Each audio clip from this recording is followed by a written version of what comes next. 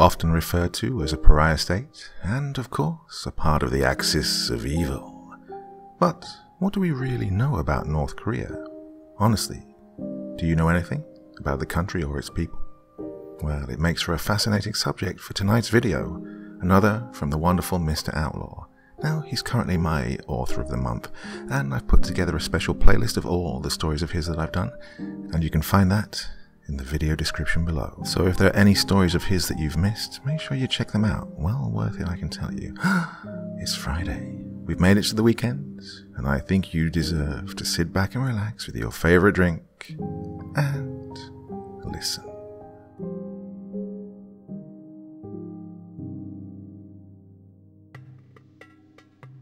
Now, this wasn't a typical vacation. Normally, I would have just gone to Hawaii or Japan or somewhere else.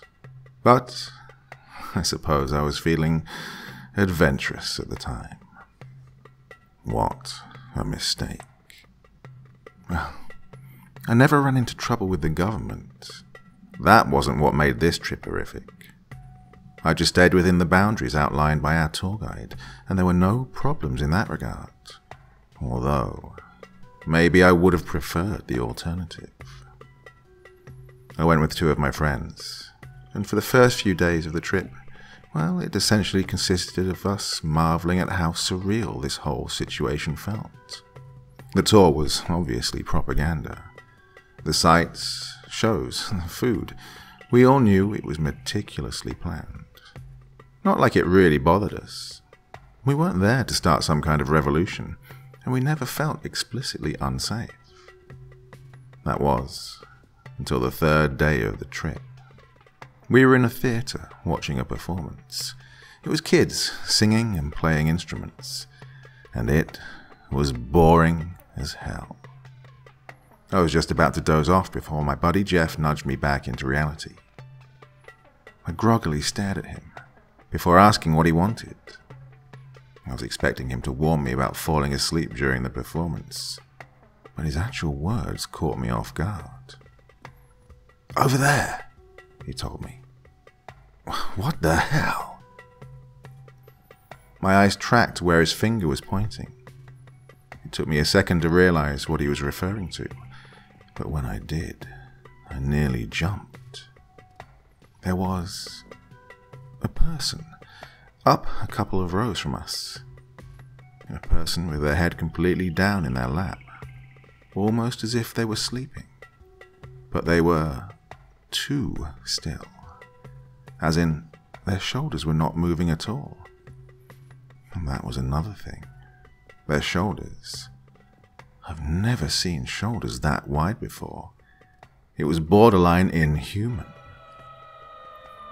I looked at the people sitting beside this oddity, but none of them seemed to notice. Well, upon further inspection, it looked more like they were trying not to notice. Every few moments or so, they turned their heads, and I could see a demeanor of tension in their faces. The show went on for about five more minutes before a man in a suit abruptly ran onto the stage and signaled for the children to stop. Everybody was ordered to leave soon after. As I was heading out the door with my tour group, I looked back, only to see that the person with their head down still hadn't moved an inch. Everybody else was leaving. I contemplated asking our tour guide about this, but decided against it. I'm not even sure how many people out of our group noticed it. Surely it was more than just Jeff and I, but I suppose they didn't really want to think about it. Safe to say, this kind of put a pit in my stomach. Fast forward to that night, at around 9 pm, and Jeff and I are in our hotel room. There wasn't a whole lot to do. The local television was rather dull, and we were too paranoid to make an attempt to access the internet. We were free to roam around parts of the hotel, so, well, that's what we decided to do. We met up with our other friend, Jin, a Korean Canadian, and began wandering around the place. Leading up to midnight, it was mostly uneventful. We swam in the pool, ate some late dinner, and watched a movie on my laptop in our room. well, it wasn't completely uneventful. The next incident was why I even included this part in the story.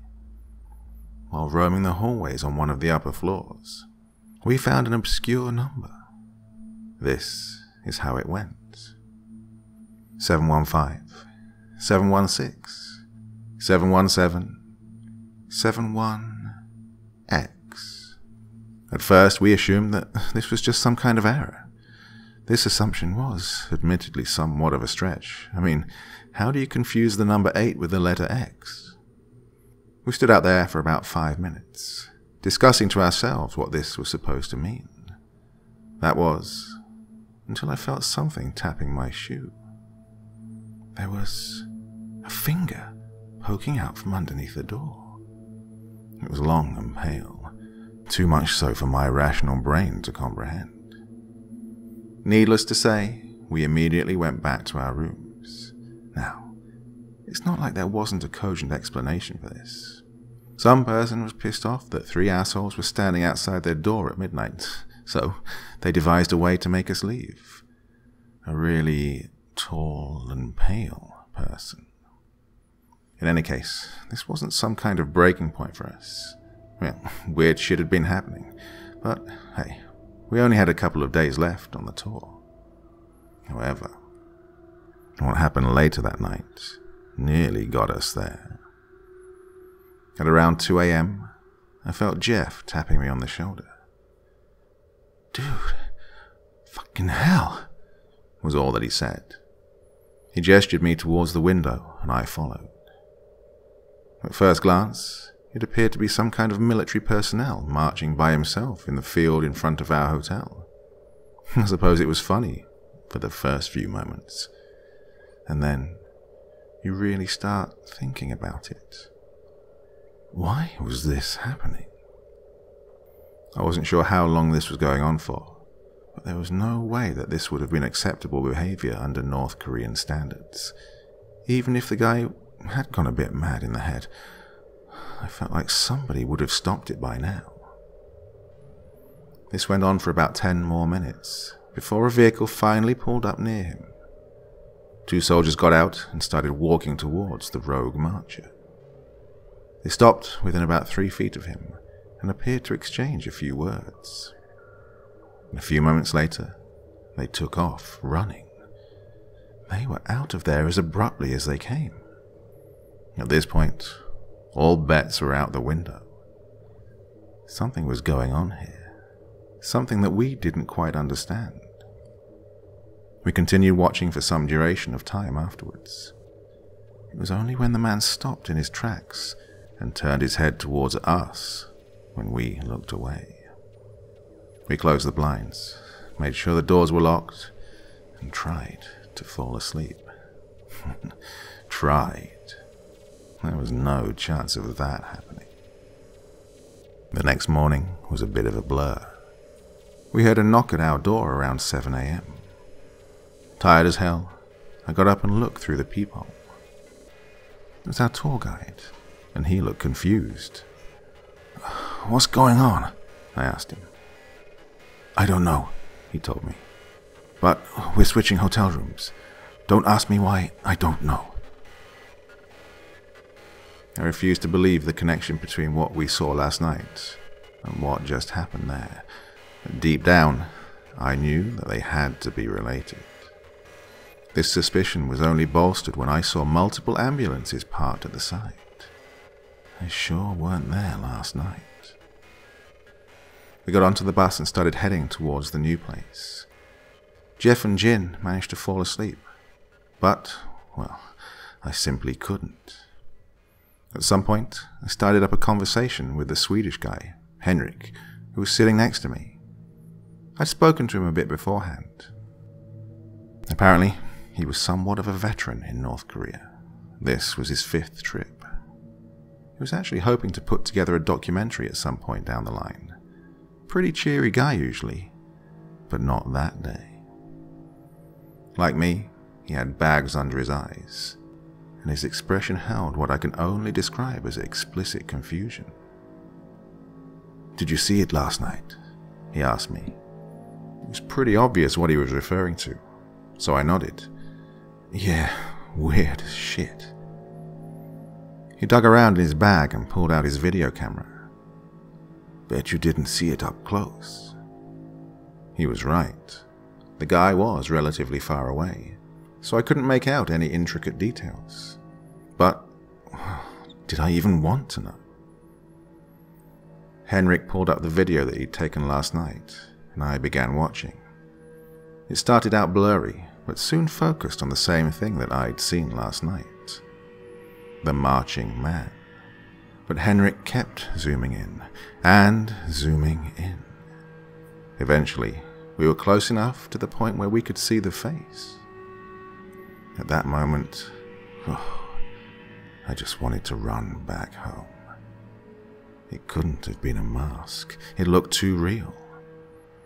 The triangular mouth lined with razor teeth and the singular, beady eye that seemed to be pulsating with every movement.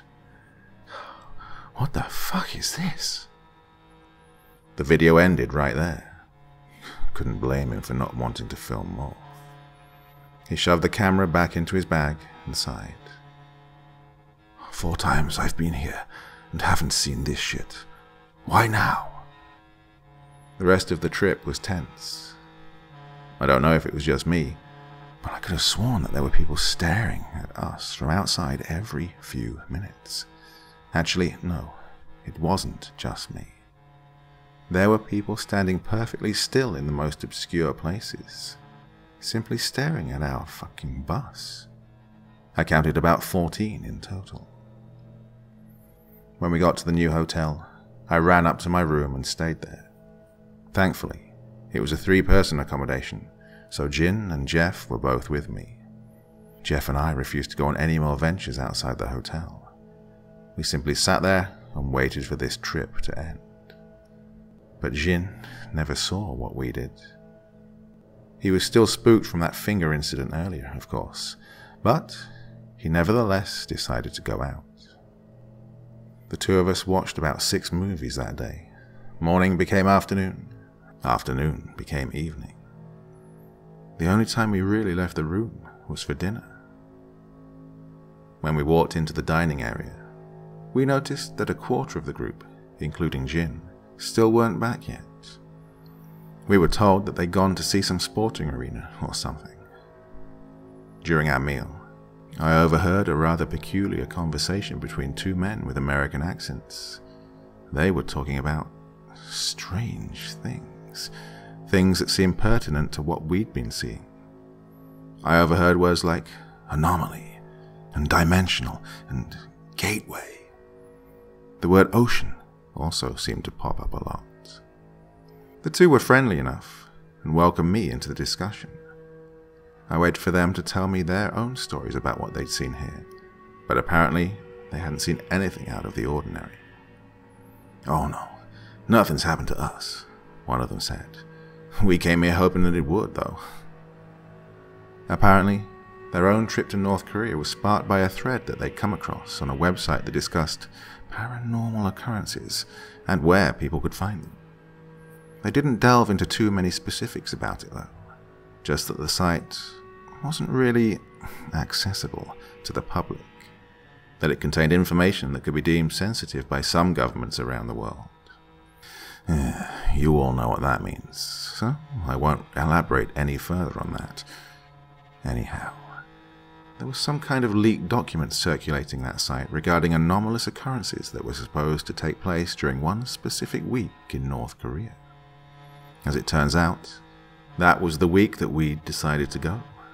Now, most of the document was actually unreadable, so they could only glean a few key details. The date of the week, obviously, but also entities that were referred to as abstract beings, and something about the Yellow Sea connected to the Pacific. However, what was really going on remained unknown. All that the Americans knew was that there was a good chance of seeing some freaky shit if they came.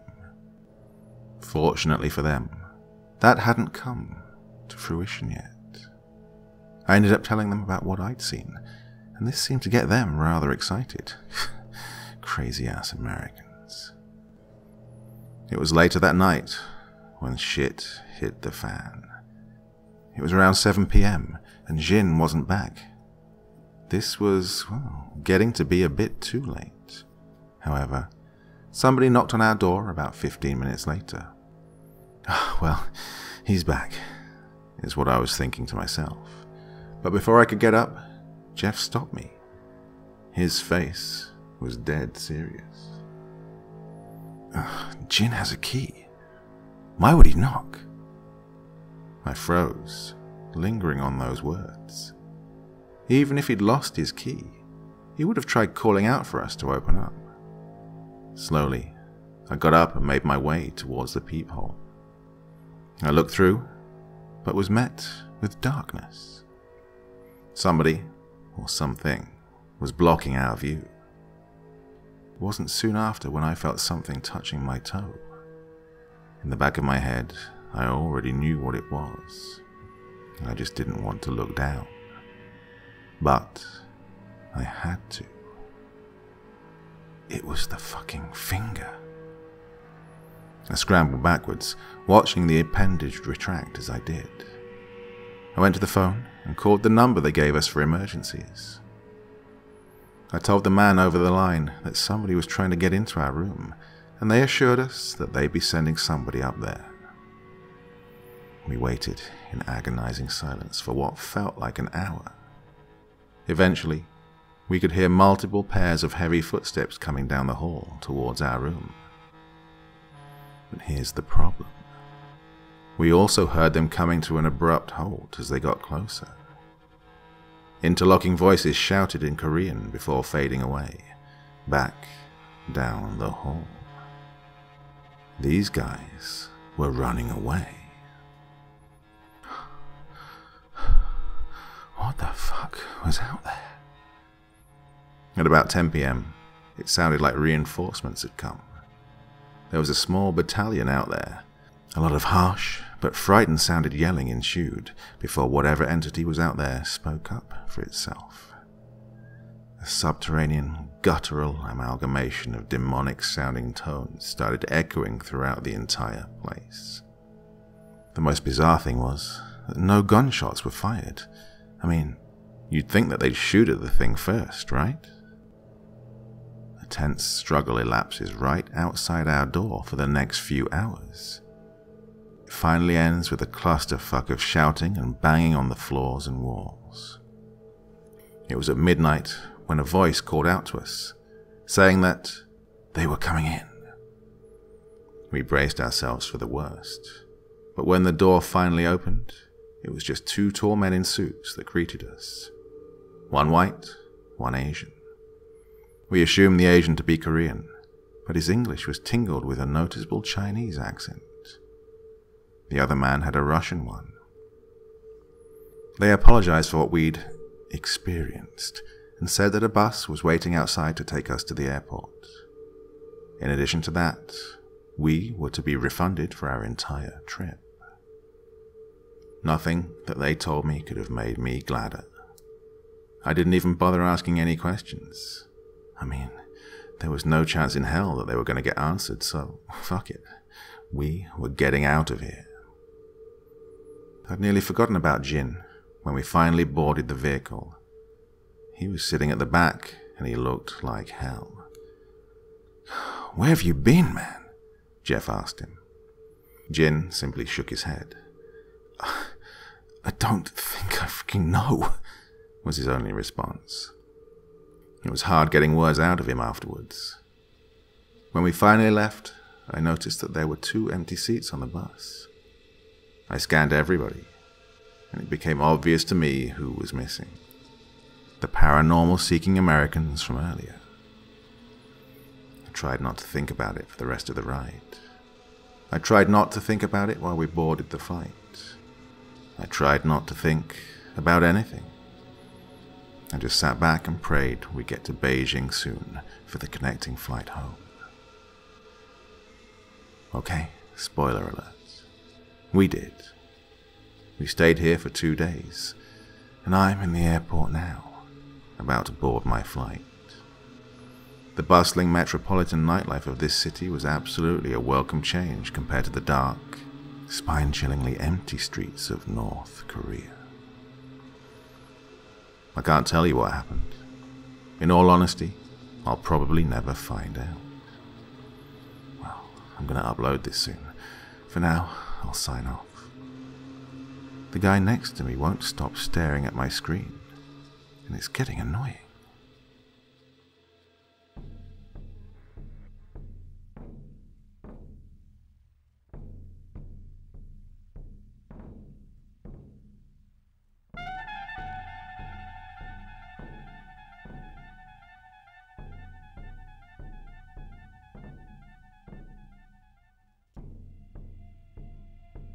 What a weird and wonderful story that was. Any thoughts? Go on, leave your comments below, and I will do my best as ever to reply to as many as I can. Like I said, another one from Mr. Outlaw there, and I've put together a playlist of all the stories of his that I've done, and you can find that in the video description too. It's the weekend. Go on, go out and have some fun. I'll see you all again on Monday, but for now, sweet dreams and bye